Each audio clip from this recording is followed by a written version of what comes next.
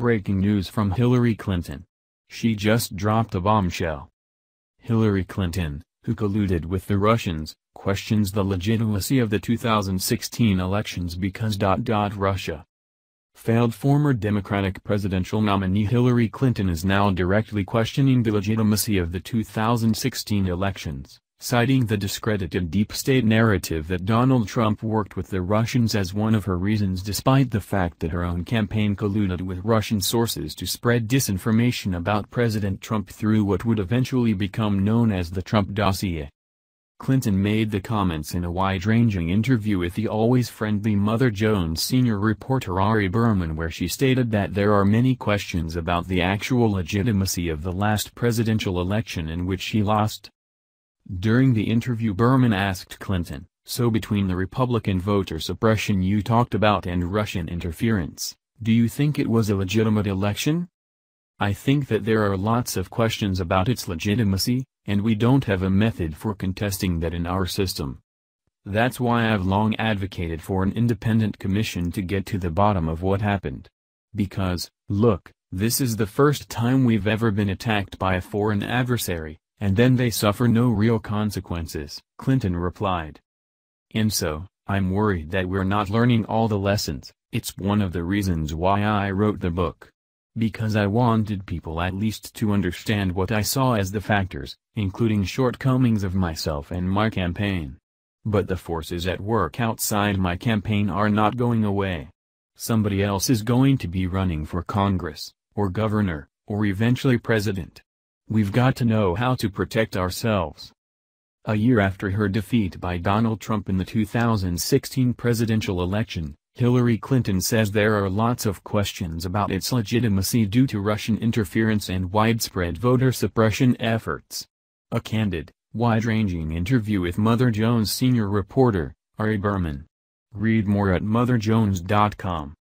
Berman then attempted to get Clinton to double down by specifically clarifying that she was stating she had questions about the election itself.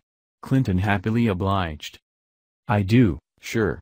Because I think, as we learn more about it, we know that the web of connections between people on Trump's team and Russian representatives just gets more and more dense.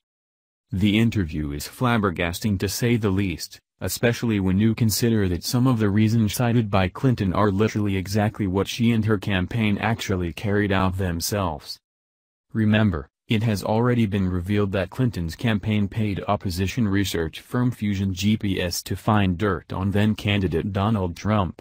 Fusion GPS then hired former British spy Christopher Steele who turned to his admittedly Russian sources to come up with the now infamous Trump dossier.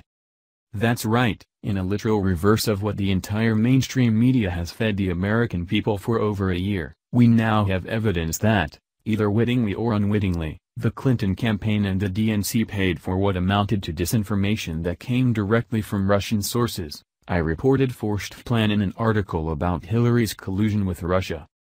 Obviously this may seem truly unbelievable to some, but the facts speak for themselves and there is no denying that Democrats paid a shady opposition research company to try and dig up dirt on Donald Trump who then subsequently hired former British spy Christopher Steele. Steele then openly used Russian sources for most of the serious allegations in the Russia dossier.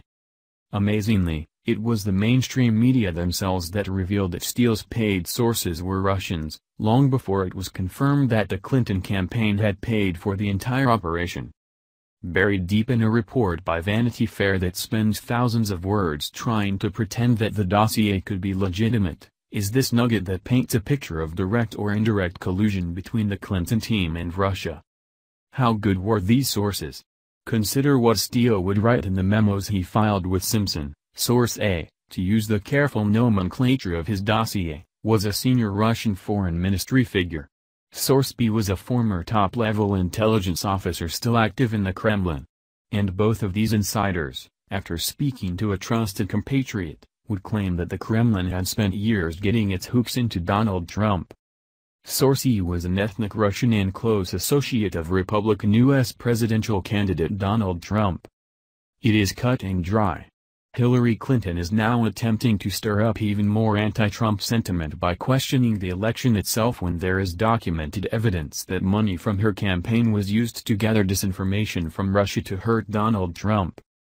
This is a confirmed reality yet Clinton was predictably not questioned on this shocking hypocrisy by the liberal reporter who most likely shares Clinton reverse reality beliefs as well.